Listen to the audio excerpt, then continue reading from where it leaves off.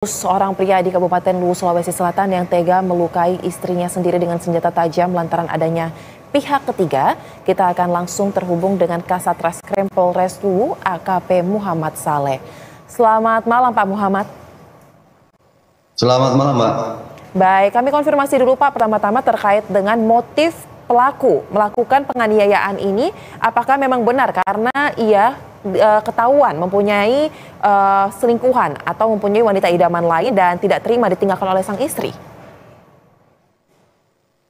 Jadi uh, pelaku mencurigai istrinya ada uh, berselingkuh dengan laki-laki lain itu karena sering melihat uh, istrinya uh, berhubungan melalui WA dengan laki-laki lain sehingga eh, pelaku ini cemburu dan sakit hati karena pada saat masih di Morowali tinggal bersama eh, pelaku ini sering mengingatkan istrinya agar jangan eh, sering berhubungan dengan eh, laki-laki lain sehingga pada saat eh, tiga bulan yang lalu sekitar bulan Juli korban ini minta izin pulang ke Kabupaten Luwu dengan alasan ingin menjenguk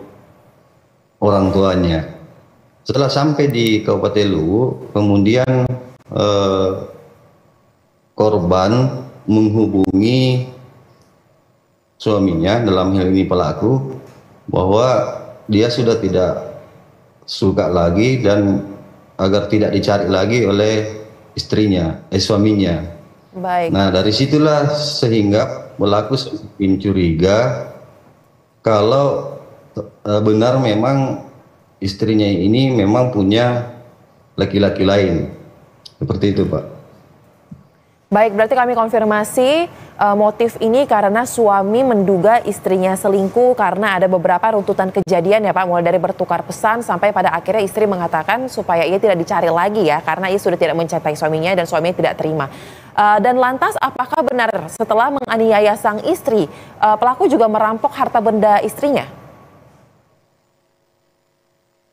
Jadi benar, benar bahwa pelaku ini setelah uh, suaminya setelah uh, istrinya menghubungi melalui WA bahwa tidak usah dicari lagi, maka pelaku ini berencana untuk uh, menyusul istrinya ke Kabupaten Luwu dengan memang direncanakan bahwa dia akan melukai istrinya dengan harapan tidak ada lagi yang suka laki-laki tersebut.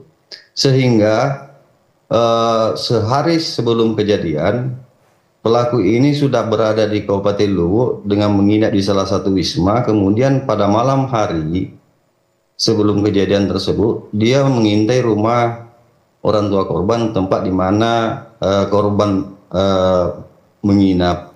Nah setelah tengah malam sekitar pukul 24.00 uh, pelaku masuk ke rumah korban sementara penghuni rumah dalam termasuk korban dalam keadaan tertidur. Sehingga eh, korban eh, pelaku mengambil barang-barang milik korban dalam eh, di antaranya handphone milik korban dan tas yang berisi uang. Kemudian eh, mengambil parang dan langsung mewarangi korban dengan eh, menusuk-nusuk korban di dalam kelambu sehingga korban mengalami beberapa luka sayatan. Seperti itu, Mbak. Baik, untuk uh, perencanaan dilakukan satu hari ya Pak sebelum peristiwa uh, penganiayaan terjadi. Tetapi terkait dengan dugaan perselingkuhan atau tidak harmonisan dalam rumah tangga ini sebenarnya sudah berapa lama uh, terjadi di antara pelaku dan juga korban? Jadi uh, sering bertengkarnya antara korban dengan pelaku ini pada saat masih tinggal di Morowali karena di Morowali itu sekitar empat tahun di sana tinggal, kemudian izin ke suaminya untuk pulang ke Kabupaten Luwu. Nah di Kabupaten Luwu ini korban tinggal selama tiga bulan, sehingga pernah sekali pelaku datang ke Kabupaten Luwu untuk uh, memanggil pulang suami istrinya, namun uh, dia mendapatkan perlakuan yang merasa direndahkan oleh uh, mertuanya bahwa tidak usah lagi kamu cari anak saya, kamu tidak cocok dengan Baik. anak saya, sehingga di situ juga berlaku rasa sakit hati. Baik, lalu saat ini kan korban tengah menjalani ya perawatan intensif. Uh, seperti apa uh, update kesehatan dari korban sendiri, Pak? Jadi korban saat ini sementara masih menjalani perawatan dan mengalami luka di sayatan di beberapa sekujur tubuhnya. Namun kondisi saat ini sudah uh, membaik, namun masih ada trauma yang dialami oleh korban Baik, lantas uh, seperti apa ancaman hukuman atas perbuatan pelaku terhadap korban dalam kasus ini? Jadi tersangka saya jerat pasal eh, 44 ayat 2 tentang penghapusan kekerasan dalam lingkup keluarga yang ancam hukumannya maksimal 10 tahun penjara. Baik.